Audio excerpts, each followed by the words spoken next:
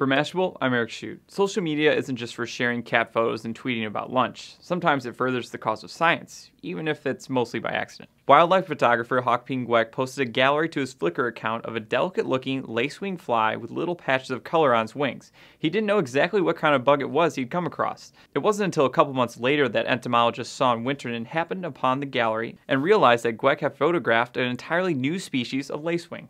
Winterton got in touch with Guek, and Guek got a sample of the specimen to send to the scientist. The results were published in Zookeys, the scientific journal on taxonomy and evolutionary research.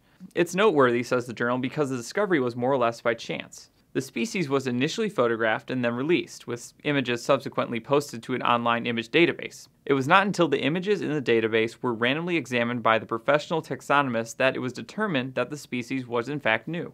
Both Guek and Winterton got credit for the discovery of the new species, which they named Semachrysa jadei. For Mashable, I'm Eric Shute.